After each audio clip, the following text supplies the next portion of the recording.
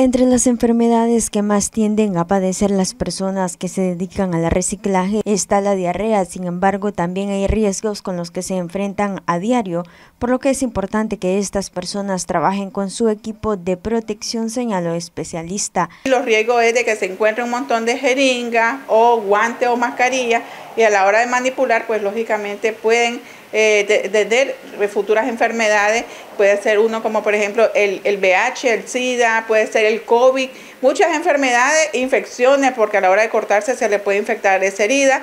Y es por eso de que es preocupante que muchas de estas personas no tienen un seguro que puedan pagar lógicamente para que para que le pueda ayudar a ir a pasar consulta. O por ejemplo si tienen algún problema de que le impida seguir trabajando como cualquier persona. Cuando te asegura, o sea, si te enfermas o te pasa un accidente laboral, a vos te cubre lo del INS.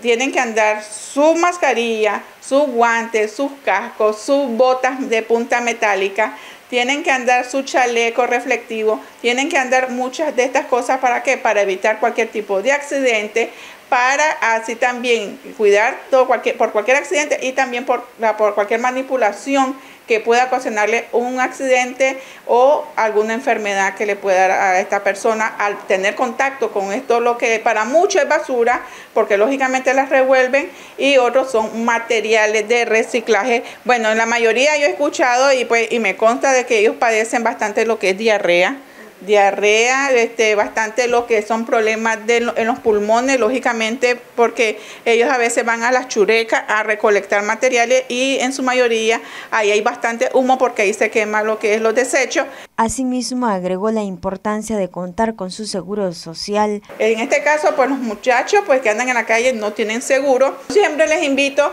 a que en su mayoría mejor busquen cómo legalizar sus empresas, sus negocios, su emprendimiento, porque esto les va a ayudar a tener todos los beneficios que pueda tener, por ejemplo, estar asegurado ante NINS. Noticias 12, Darlene Telles.